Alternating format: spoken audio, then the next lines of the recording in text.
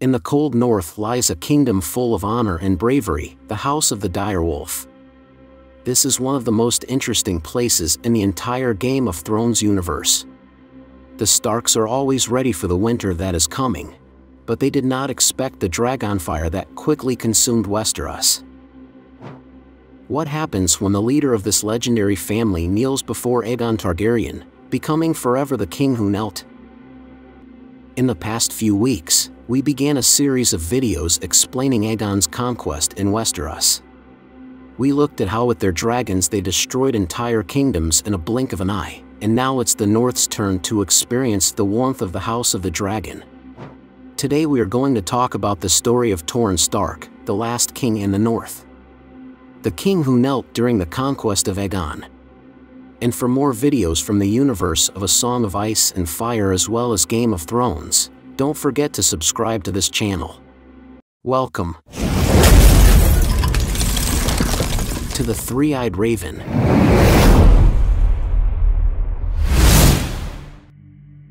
This story begins in the north in the kingdom of Winterfell, where Torrhen Stark was located. Not much is known about this king, but what we do know is he was loved and respected by the Northerners. Also he was one of the descendants of the first men, the same ones who came to Westeros and fought with the children of the forest. Torrhen began to receive news of Aegon's conquest throughout Westeros. His men and spies told him stories about how the Dragonfire had melted Harrenhal, how the Field of Fire destroyed the Lannister men, and how entire families had been wiped out. Torrhen knew that this war could represent the extinction of the Starks in the north, so he gathered 30,000 men and began to march to the shores of the Trident. Aegon had continued his conquest through Westeros when he heard that the Starks were preparing for war and decided to ride his dragon with his two queens to face the Northerners. Torrhen Stark was determined to fight, but he really did not know what to do. He received different advice where some told him to surrender, while others claimed that the bravery of the Northerners would help him win the battle. The king's illegitimate brother named Bran Snow asked Torrhen to let him lead a group of men to slay the dragons in their sleep. But King Stark had a better idea. He sent Brandon Snow to the other side of the Trident, not to kill, but to negotiate. Accompanied by three maesters, Brandon carried messages between the two leaders throughout the night. Aegon listened carefully to the words of Brandon Snow and the Maesters, and offered them a truce. After several hours of conversations, they reached an agreement. It was then when King Torrhen, the Sword in the North, decided to kneel in front of King Aegon. The book Fire and Blood says the following about that event.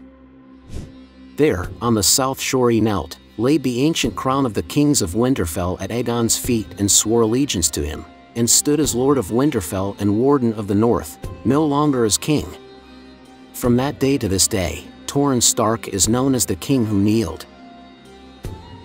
No Northerner lost his life, nor did his swords become part of the Iron Throne. The Starks had surrendered without a fight and joined the dragon. But why did this happen? What exactly happened in the conversation between the Maesters, Bran and Aegon? What drove Torrhen Stark to kneel without a fight? This is certainly uncharacteristic of Northerners, but we must understand two things. The first is the king knew this was a losing battle. Aegon had overcome armies twice the size of the Northerners, and they had no definitive answer to the dragons. On the other hand, Aegon was not interested in destroying Winterfell. Aegon wished to unify the Seven Kingdoms because the extinction of humanity was approaching. Let us remember that what drove Aegon to conquer Westeros was not only ambition, but a dream in which he saw the destruction of mankind. But that a savior would arise, the prince that was promised, who would unify the kingdoms and fight against death itself so the fact that Aegon was benevolent and accepted the surrender is consistent with his goals. On the other hand, the Starks had also previously fought the White Walkers, so they had a common enemy. I think Torrhen was wise, and knew the North was in great danger, and if he knelt no one would lose their lives. perhaps he saw that Aegon was a person of honor and would keep his promises. Although, of course, we cannot rule out that there was a much deeper and more mystical conversation between them about what might happen in the future. What is clear is that in the years that followed, Winterfell and the North prospered under the reign of House Stark, and the loyalty between Aegon and his descendants was unwavering. The union of these two great houses served as a reminder of the power of diplomacy and wisdom. As the years passed, the legend of the king who kneeled became a source of pride and wisdom for the North. The young men learned that courage is not only found in battle, but also in the ability to put the welfare of their people above personal pride. Something that other kings and knights of Westeros never learned, and ended up paying with their lives. Though there were those who murmured that Torrhen had been weak by kneeling, most understood that his sacrifice had prevented unnecessary slaughter and had allowed the North to continue to prosper. The relationship between houses Stark and Targaryen remained strong and stable. An unbreakable alliance forged by mutual respect and admiration. Until the time of Robert's rebellion. Rhaegar Targaryen and his forbidden relationship with Lyanna Stark ended up destroying this peace that existed in the kingdom, although there is a high probability that Rhaegar also acted under the idea of the prophecy of the prince that was promised. Which is rather ironic, since Aegon the Conqueror united the kingdoms based on this prophecy, and Rhaegar caused their division based on the same idea. But this is a topic we'll talk about in its own video. Hundreds of years later, a new king in the north had to kneel before a Targaryen conquering Westeros. This time it was Jon Snow who knelt before Daenerys Targaryen in order to fight off the approaching threat. We are going to destroy the Night King and his army. We'll do it together.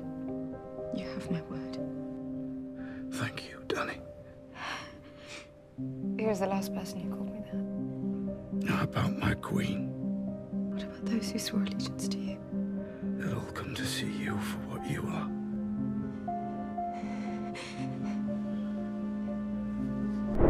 This means that history once again repeated itself. But this time there is something different. The Starks did not surrender Winterfell, and Sansa stayed as queen in the north. This change in dynamics could propitiate another war and another rise of another dragon that brings the north to its knees again.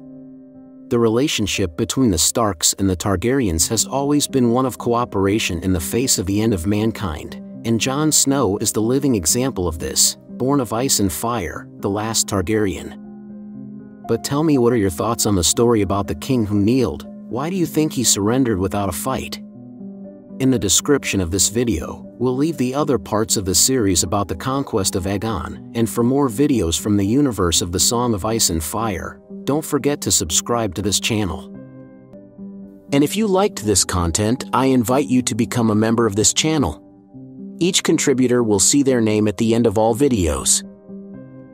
And for more videos with theories, news, and stories from the Game of Thrones universe, don't forget to subscribe to this channel.